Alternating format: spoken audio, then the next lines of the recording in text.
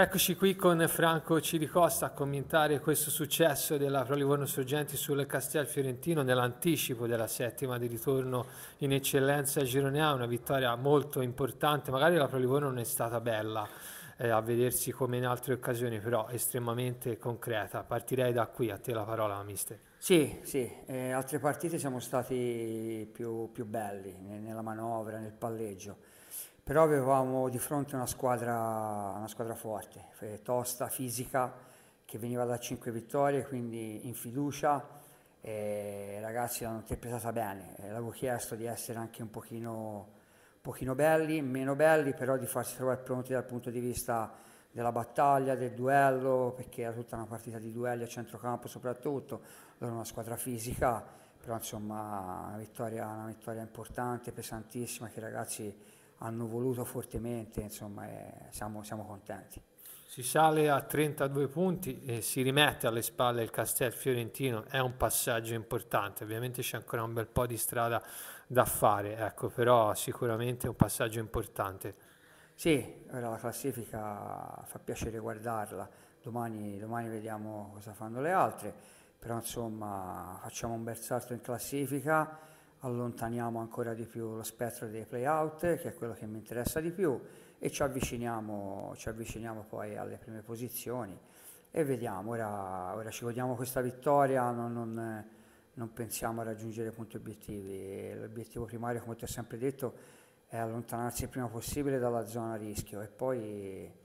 poi vediamo, vediamo, se siamo bravi a agguantare qualcosa di, di più importante ora ci vediamo questa, da martedì pensiamo a San Marcavenza. Sì, giusto godersi questa vittoria, figlia di una prestazione, vediamo se, se, vogliamo un po' dai due volti, primo tempo insomma meno brillante per quanto riguarda entrambe le squadre, poche occasioni, il secondo tempo invece la Livorno ha finalmente alzato un po' l'intensità, si è visto anche un eh, certo tenore dal punto di vista della, della condizione fisica che rinfranca 3-4 accelerazioni, una di queste è andata bene, un gol annullato e fuori gioco, segna ancora Angiolini per la seconda volta consecutiva in casa e poi subito il cambio probabilmente per cercare di difendere questo risultato con le unghie e con i denti.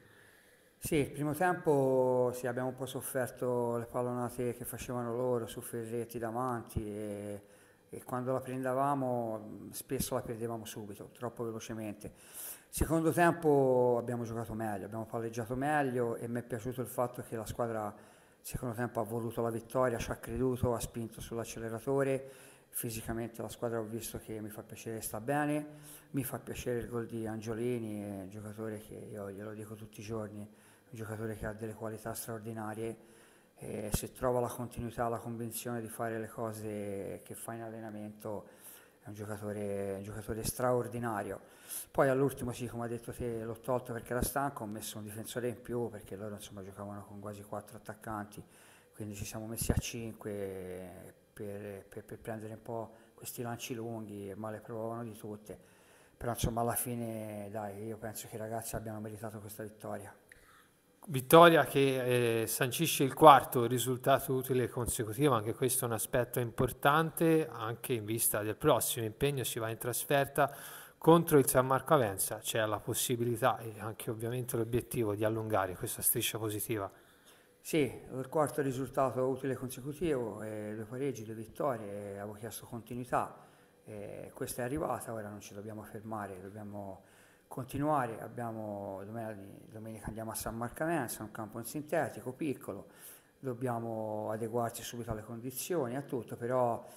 se lo spirito dei ragazzi è questo, insomma, mi fa, mi fa ben sperare per il proseguo, ecco, i ragazzi sono tutti, hanno capito che sono tutti titolari, non c'è riserve, anche giovani, giovani che vengono dalla juniores, oggi è entrato sottile, quindi un 2005, insomma, è... sono veramente contento chiaramente per i tre punti, però per tutto quello che gira intorno a questa squadra, per come, per come sta lavorando, per l'armonia che c'è, sì, sono veramente, veramente contento. Bene, ringraziamo allora Mister Ciricosta, buon proseguimento di lavoro.